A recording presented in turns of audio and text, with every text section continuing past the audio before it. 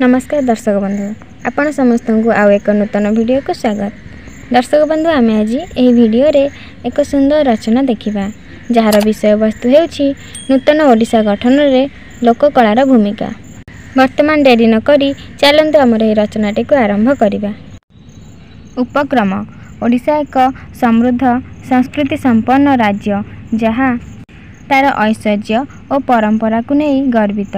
ପ୍ରାକୃତିକ ସୌନ୍ଦର୍ଯ୍ୟର ଗନ୍ତାଘର ଓଡ଼ିଶା ତା'ର ଚାରୁ କାରୁକଳା ସ୍ଥାପତ୍ୟ ଲୋକକଳା ଇତ୍ୟାଦିକୁ ନେଇ ସମୃଦ୍ଧ ଅଟେ। ଏହା ମଧ୍ୟରୁ ଲୋକକଳା ଅନ୍ୟତମ। ସାମାଜିକ ସାଂସ୍କୃତିକ ଓ ଅର୍ଥନୈତିକ ପରିଚୟ ସୃଷ୍ଟି କରିବାରେ ଏହି ଲୋକକଳାର ଭୂମିକା ଆଧୁନିକ ଓଡ଼ିଶା ଉପରେ ଯଥେଷ୍ଟ ପ୍ରଭାବ ପକାଇଛି। ଏହା ଆମ ସମାଜ ଓ ସଂସ୍କୃତିକୁ ଜୀବନ୍ତ ରଖିବାରେ ସକ୍ଷମ ଅଟେ।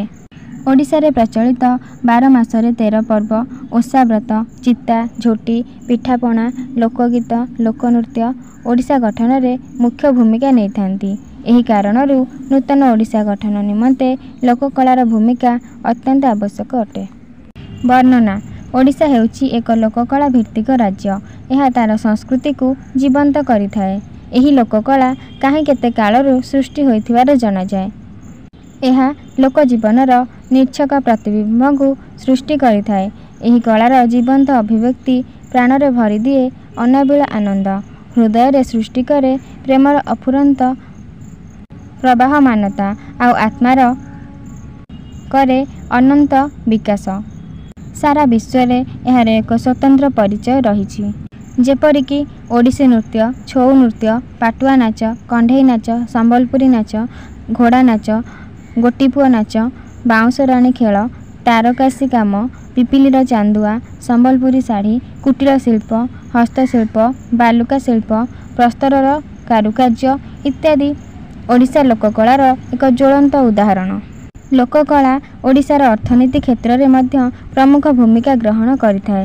ଯେପରିକି ହସ୍ତଶିଳ୍ପ ହସ୍ତତନ୍ତ ଲୋକକଳା ପ୍ରଭୃତି କାରିଗର ଓ ସେମାନଙ୍କ କୌଶଳ ଏବଂ ଜୀବିକା ବୃଦ୍ଧି କରି ସରକାରୀ ପଦକ୍ଷେପ ଓ ତାଲିମ କାର୍ଯ୍ୟକ୍ରମ ଦ୍ୱାରା ଉପକୃତ କରିଥାନ୍ତି।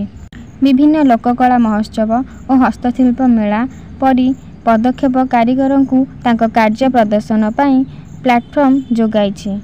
ଦେଶ ବିଦେଶର ପର୍ଯ୍ୟଟକମାନଙ୍କୁ ମଧ୍ୟ ଆମର ଲୋକକଳା ଆକର୍ଷିତ କରି ଆଣିଥାଏ। ଓଡ଼ିଶା ବୁଲିଯିବା ନିମନ୍ତେ ଯାହାଦ୍ୱାରା ମଧ୍ୟ ଆମ ରାଜ୍ୟର ଆର୍ଥିକ ଉନ୍ନତି ହୋଇଥାଏ। ଓଡ଼ିଶା ତା'ର ସଂସ୍କୃତି ଭାଷା ଇତିହାସ ଲୋକକଳା ଭାସ୍କର୍ଯ୍ୟ ସଂହତିରେ ନିଆରା ଓ ଉତ୍କର୍ଷ ଅଟେ। ଏହାର ପ୍ରତିଟି କୋଣ ଅନୁକୋଣରେ ଲୋକକଳାର ଝଲକ ଦେଖିବାକୁ ମିଳିଥାଏ। ପ୍ରତିଟି ଓଷା ବ୍ରତ ଓ ପର୍ବପର୍ବାଣିରେ ଲୋକକଳା ଭରି ରହିଛି।